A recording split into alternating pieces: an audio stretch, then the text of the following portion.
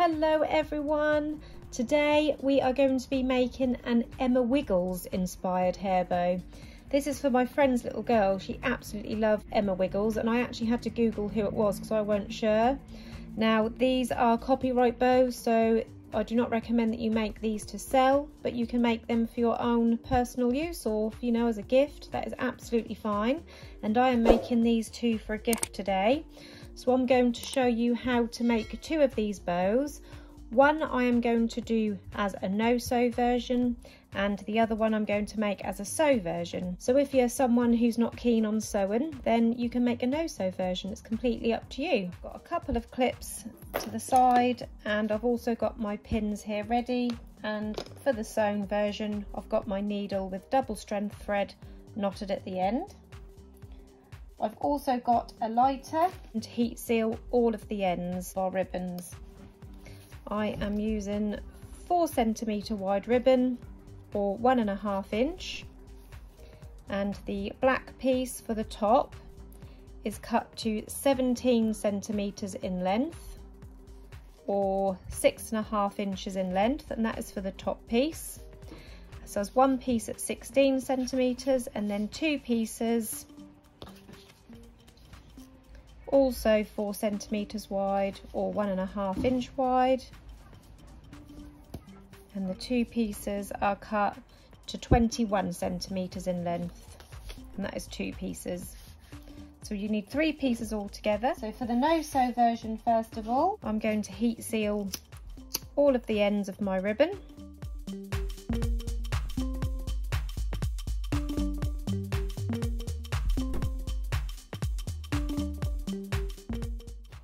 and then you need to fold your ribbon in half to find the center. As you can see I have already done that because I started making them off the camera. And then I thought oh I'll have to do a tutorial for this one. So that is why I've already actually done that part. So find the centers of your ribbon which I've done on these two. And also the black piece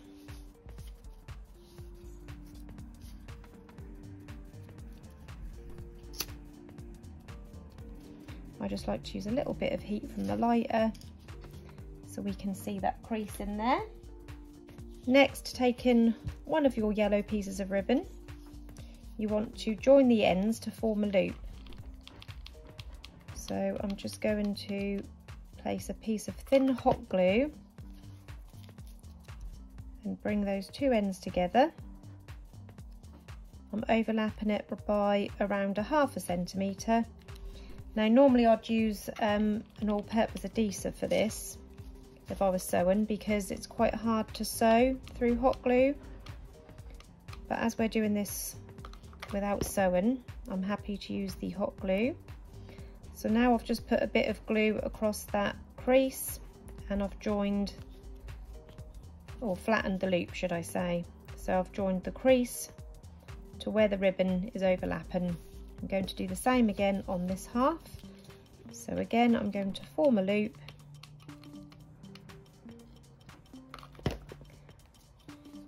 Overlapping it by around a half a centimetre. And then I'm going to place some glue just along the inside of the loop, along the crease. And then bring that join to meet that crease. So you've got two pieces like this now.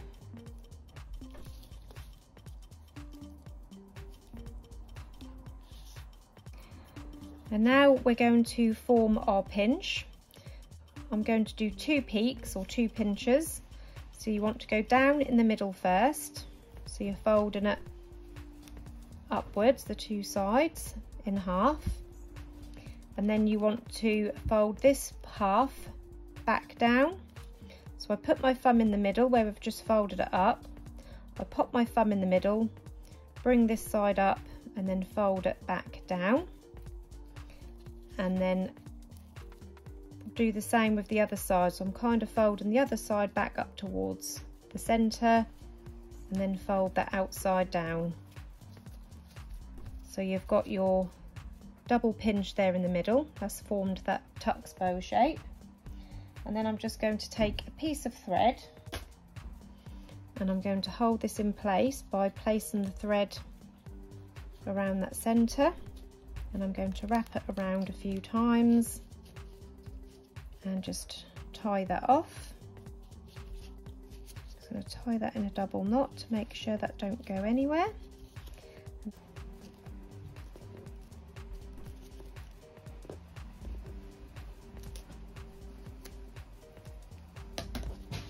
So that is one half of the bottom tux bow done. I'm just going to give that a little wiggle over because sometimes when you do it freehand that cotton can slip and slide. But you can just give it a little wiggle over. If you turn it back over and find that has slipped, just give it a little wiggle until you're happy that that is nice and central like that. We're going to do the same with the other half, so pushing it down in the centre and at the same time I'm bringing this piece up to fold and down and then bring the other side up.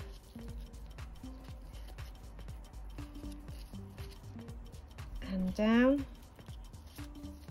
And just fold them loops downwards like that. And then you've got your other side pinched again grabbing a piece of thread. We're just going to wrap that around the center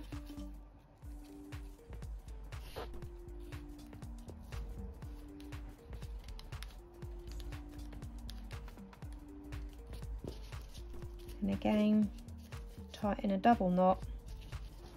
To hold it in place.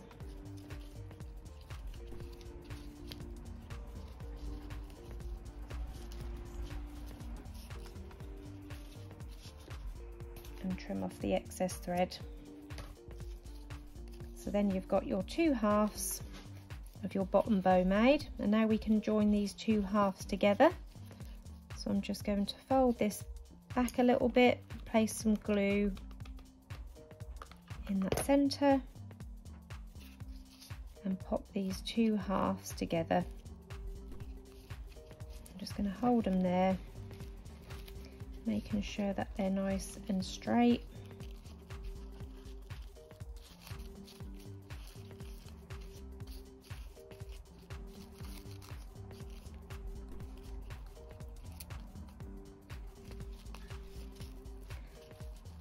So that is now a double tux bow ready for the bottom half. And now we're going to repeat those steps with this piece.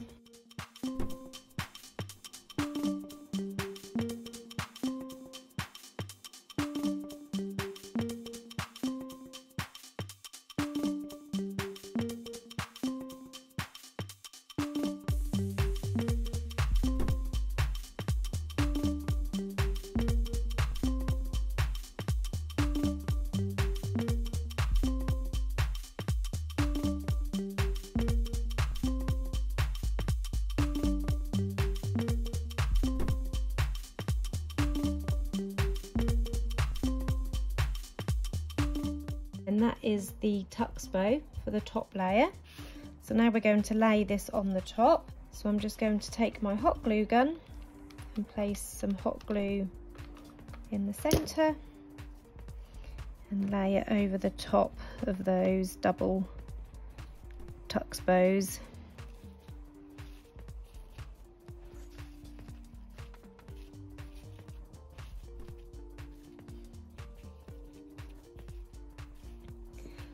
So that is how to do the no-sew version. Before I completely finish this one off, I'm going to show you how to do the sewn version. So we start off the same, we heat seal the ends and we find the centres and make a crease. We'll do that now. So there we have our centres folded and we have our ends all heat sealed. Next I've got my pins ready here we're going to basically do the same as we did with this one, but because we're sewing it, we're going to pin it into place. So I'm going to just slightly overlap the centre by around half a centimetre. Bring the other side in and again overlap the centre by around a half a centimetre. Making sure the crease is central and the sides are all in line. I'm just going to grab a pin and pin that in place.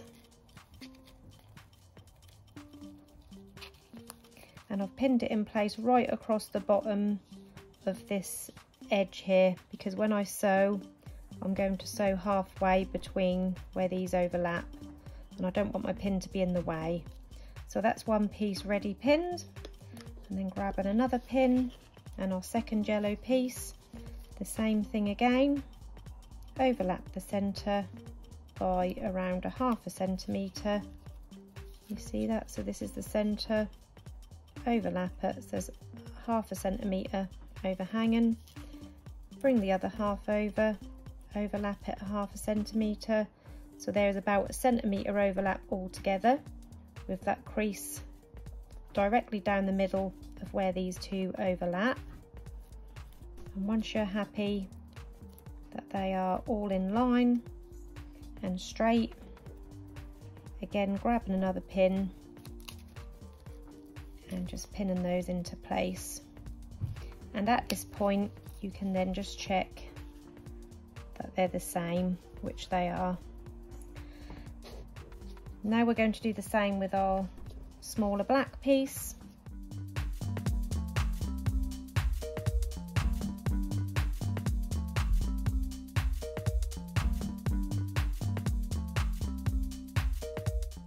Make sure that's the same as my other bow. Yep, because once that's pinched that will bring it in a little bit.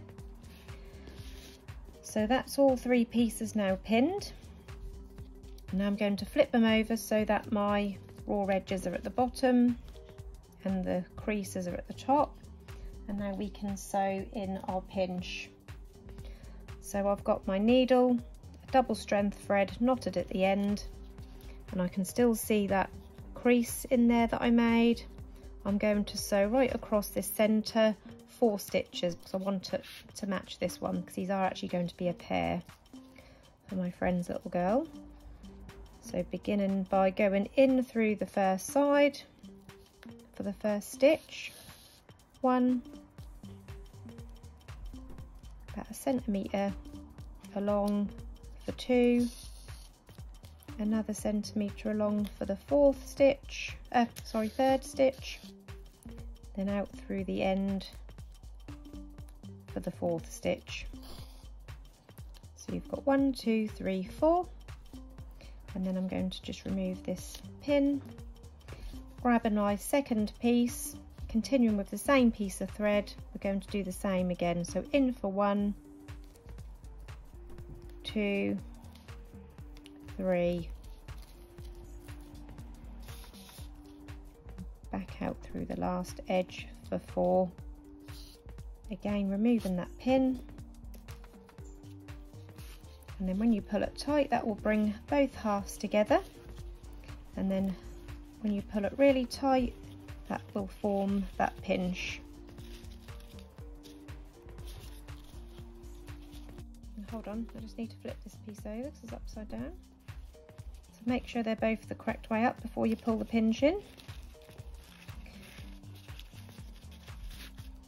And just pull that tight to form that pinch and bring them together.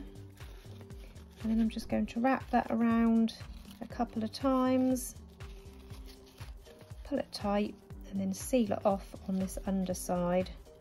I'm just going to go in through the bottom like that and then on this second go in I'm not going to pull it completely tight I'm going to go in through this loop before I pull it tight a couple of times and that will form a knot and hold it all in place.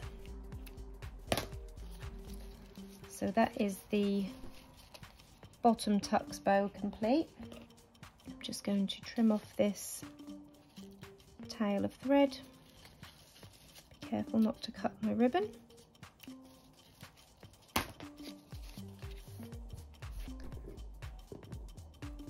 Then I'm just going to pop a knot in the bottom of there so I can use it for my black piece.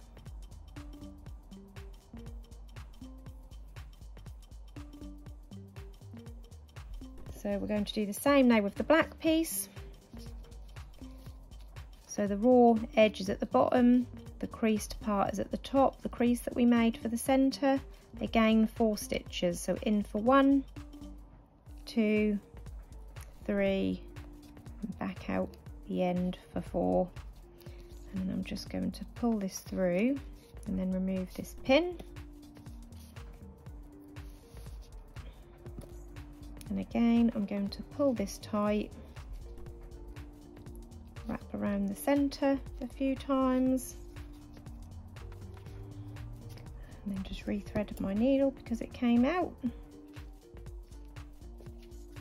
and then again I'm going to knot it off on the underside I'm going to go in a couple of times I'm just going to go in once and then on the second go I'm going to go in through this loop before I pull it tight to form a knot and then pull it tight. Trim off the excess thread both ends.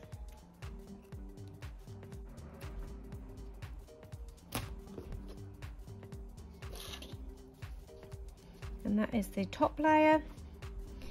And then again we can add this to our base bow.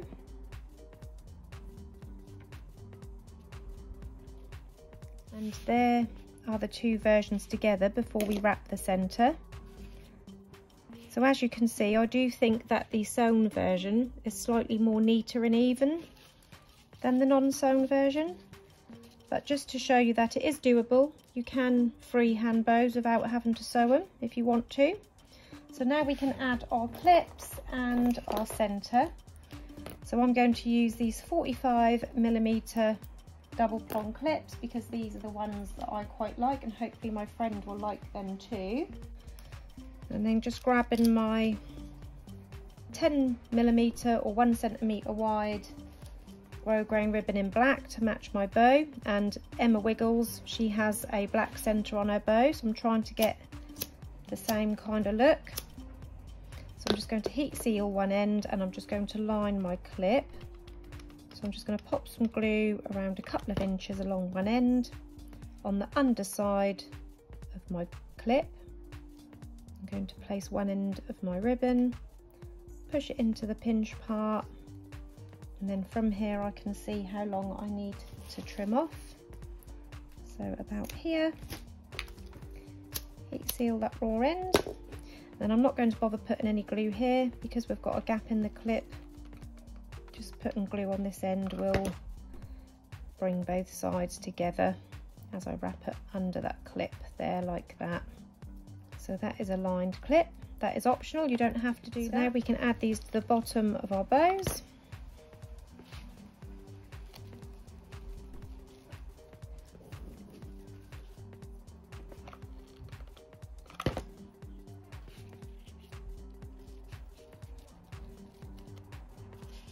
And then again using the black for the center I'm just going to heat seal that raw raw edge.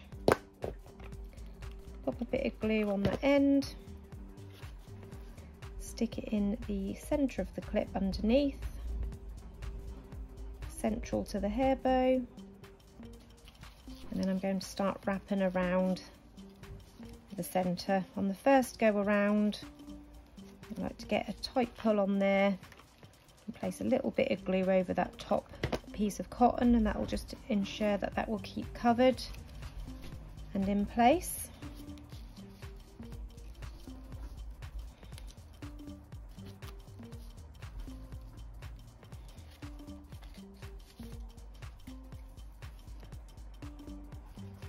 And then trim off the excess,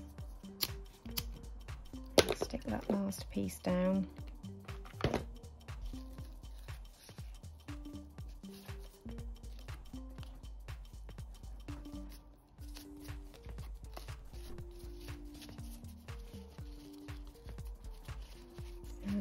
One of the bows done.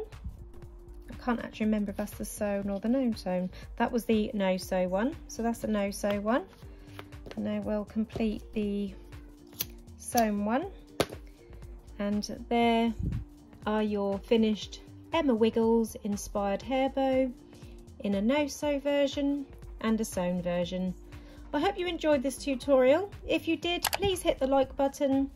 Subscribe to my channel and press the bell button to turn on notifications. Thanks for watching everyone. Bye bye.